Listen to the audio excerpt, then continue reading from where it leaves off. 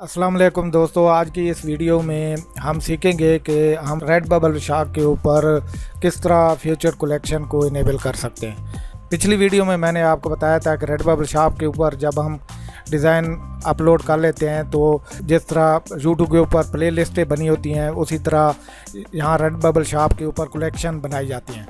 तो ये वाली कलेक्शन है जहाँ पर जब आप बना लेंगे तो जहाँ पर ये आपको नज़र आना शुरू हो जाएँगे।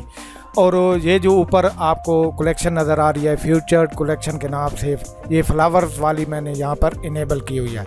इसको इनेबल करने का क्या फ़ायदा है? जब कोई भी कस्टमर आपकी शॉप पर विज़िट करेगा तो उसको इस कलेक्शन में जितने भी डिज़ाइन होंगे, यहाँ पर डिस्प्ले होके नज़र आना शुरू हो जाएँगे। और यहाँ से भी क्लिक करके, यहाँ से आपकी कोई भी प्रोडक्ट वो परचेज़ कर सकता है। तो ये फ्यूचर कलेक्शन जो है, किस तरह इनेबल करते हैं, आज की इस वीडियो में हम सीखेंगे।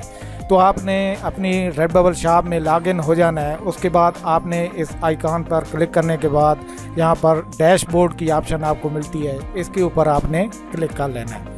इसके ऊपर आप क्लिक करेंगे तो आपके लेफ़्ट साइड पर यहाँ पर तो यहाँ पर हम शॉप सेटिंग के ऊपर क्लिक कर लेते हैं।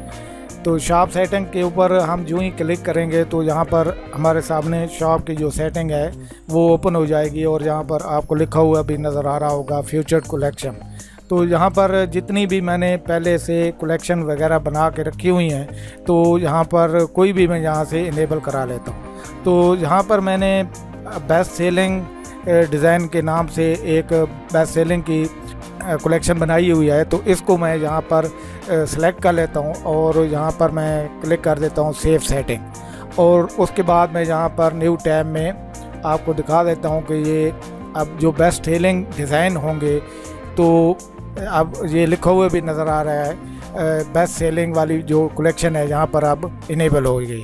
और इसमें जितने भी मैंने डिज़ाइन इस कलेक्शन में रखे हैं, वो यहाँ पर शो होना शुरू हो चुके हैं. तो इस तरह हम अपनी रेड बबल शॉप के ऊपर यहाँ से डैशबोर्ड में जाके और शॉप वाली सेटिंग को क्लिक करके यहाँ से कोई भी कलेक्शन जो आपने बनाई है, यहाँ से इसको इनेबल कर सकते हैं और यहाँ से सेव के बटन पर क्लिक करके आप यहाँ पर शो करा सकते हैं। तो आज की इस वीडियो में बस दोस्तों यही कुछ आपको बताना था। मज़ीद वीडियोस के लिए मेरे चैनल को अभी तक अगर आपने सब्सक्राइब नहीं किया तो प्लीज़ सब्सक्राइब कर लें और साथ बेल आइकॉन को लाजमी प्रेस करें ताकि हर नए आने वाली वीडियो की नोटिफिकेशन आपको मिल सके। शुक्रिया।